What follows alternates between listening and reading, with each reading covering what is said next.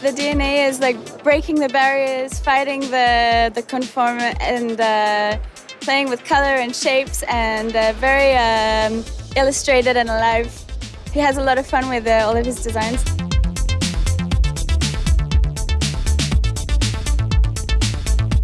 I love what he do from long time ago, and I love what he like.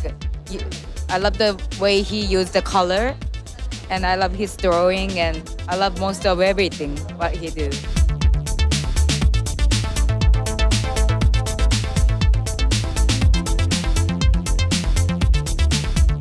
I'm looking for something very modern, very unexpected, and very beautiful colors and patterns and shapes.